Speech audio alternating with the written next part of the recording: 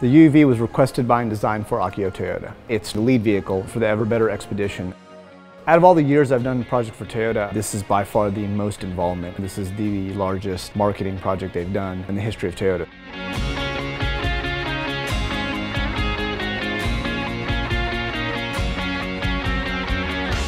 The body of this vehicle is actually a Toyota Sienna minivan that was placed over a Toyota Tacoma chassis.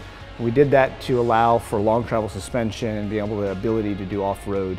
The whole purpose of this vehicle was that it's a driving vehicle. One of the big features on it is the fact that we had to modify the body so heavily that the, the rear motorized doors no longer work. So we motorized the doors to actually swing outwards horizontally and suicided the front doors. We ended up doing quite a bit of uh, electronics in it as well.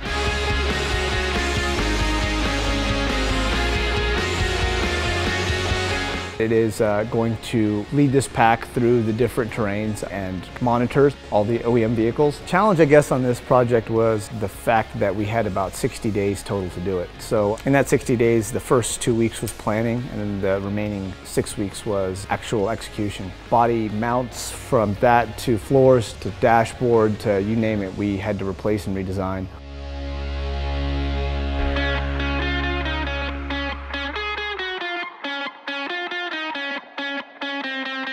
It's an honor for me to actually be building this truck for the president of Toyota. It's definitely the largest build we've done for them. To be able to say that we're a part of something uh, that's so big for Toyota is pretty honorable for us.